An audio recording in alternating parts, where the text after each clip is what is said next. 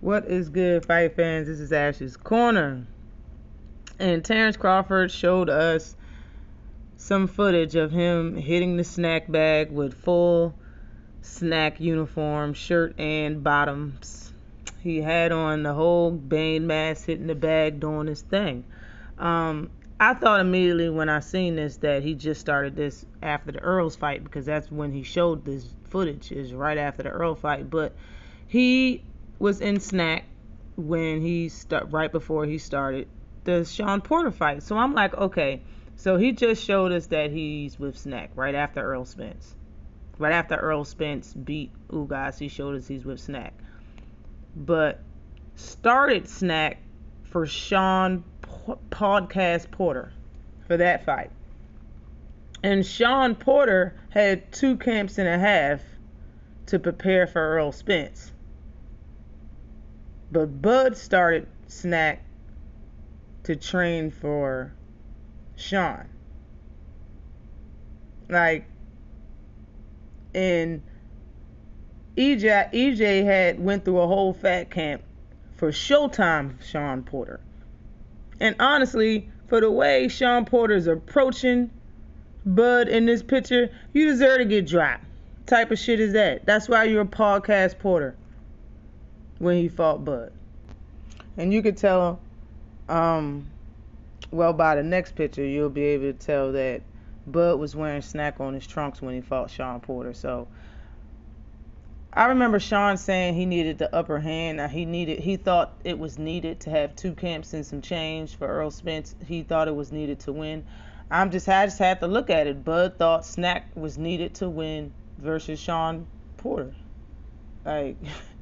it's it's evident to me. Like that's out of his whole career, out of all the years, out of 13 years of pro fighting in different weight classes, he had he Bud thought he needed SNAC, and he probably did to beat Podcast Porter. I mean, it's just that all the evidence is there. All of it is just smiling people in the face. They just don't want to admit the shit. But um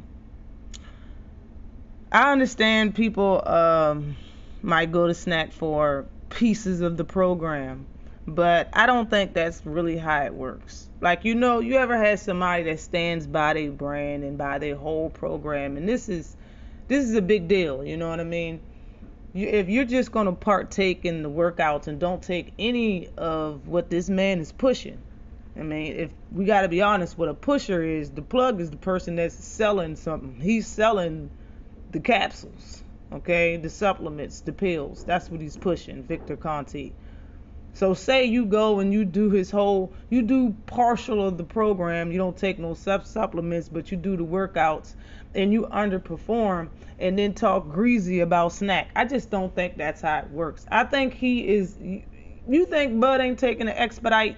I think he is. Okay, I think he is, for real.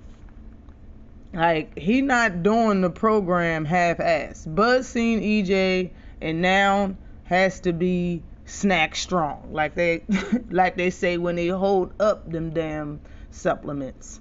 Okay, he has to be str- SNAC strong, and to do that, you have to take them capsules. Okay, Bud need to pop those uppers, downers, stunners, and maintainers out this bitch etc. All the above to be the best that he can be versus Big Fish Earl Spence.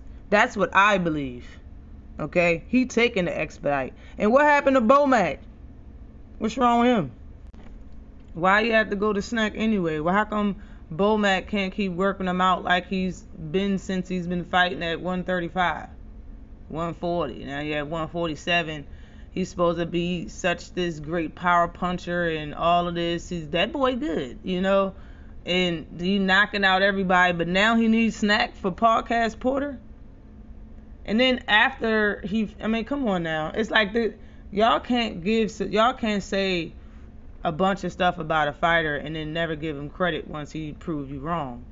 Just like Ugas, people was saying Ugas was to beat Earl, and then after Earl made him look like that, he people saying that Ugas was a C class fighter. If that's the if that's the case, then something's wrong with your boxing eye, or you need to give it up for the person that you were under underestimating the whole time, which is Earl Spence.